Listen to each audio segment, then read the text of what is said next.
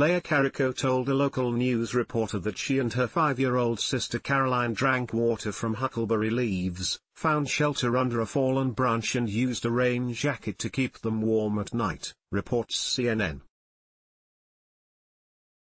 Leia even started a fire by rubbing a round stick between her hands into a plank of wood and said she kept watch most of the night while trying to reassure her younger sister.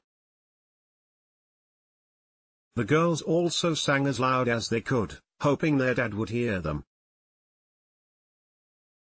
Firefighters found the girls on March 3 more than one mile away from their house after hearing their voices. Despite being dehydrated and hungry, they were in good spirits. Upon finding them, their parents were overcome with emotion. They did the right thing, said their mom Misty Carrico. They saved each other. I'm the proudest mom. I raised superheroes. These girls' heroic story is evidence that it's never too early to teach kids the fundamentals of wilderness survival. Survival starts with the basics it's worth remembering that there is a clear hierarchy of skills in terms of actual usefulness, particularly for children this age. According to Rich Johnson of Outdoor Life, Survival skills for children can be summed up by four key lessons. 1.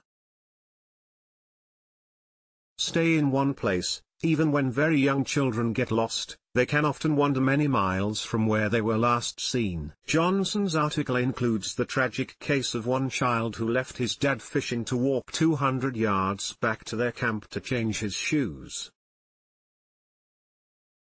The boy somehow got lost, and wandered off and was never found again. Encouraging children to stay in one place as soon as they realize they are lost is one of the single most important ways to keep them safe. To be seen and heard, shouting, using mirrors, waving brightly colored clothing, putting shiny objects out in the open. These are all ways to be seen and heard.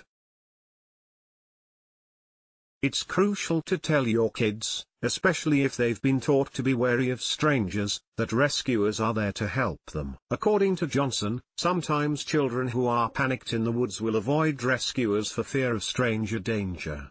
3.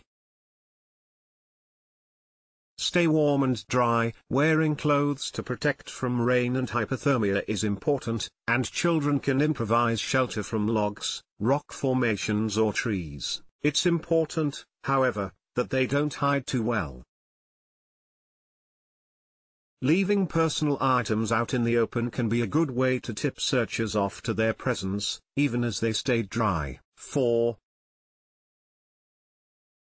Be patient, don't panic, this can be the hardest concept for a young child to grasp, and that's why Paul Osborne's, outdoorsman and creator of the website The Outdoor Adventure, Focus on psychological comfort and keeping occupied is so important. The more confidence you can instill in your children that there will be search parties and rescuers out looking for them, the less they will be likely to get panicked and walk further into the wilderness. Creating a survival kit tailored for children for Osborne, fear that this could happen to his own child became an inspiration to do something about it. Working with his five-year-old daughter for a kindergarten school project, the pair assembled a small survival kit that would help her stay safe should she get separated from the group on one of the family's many hiking trips. While the kit includes plenty of practical items that would provide for a child's physical needs, rain poncho, survival blanket, signal mirror, flashlight, emergency whistle, Paul was also savvy enough to include several items that are more about psychological well-being and a sense of hope. For example a fire steel and striker, while useful for a skilled adult or teen, is hardly of practical use for a five-year-old. It is, however, a great way to keep a determined and resourceful child occupied until help arrives. Ultimately, most children who do get lost will be found fairly quickly.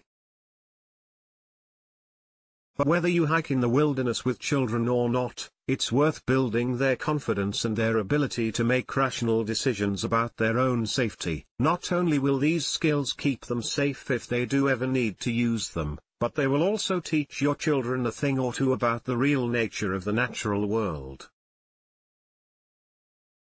And that can only be a good thing. Editor's note, this article has been updated since it was originally published in May 2013.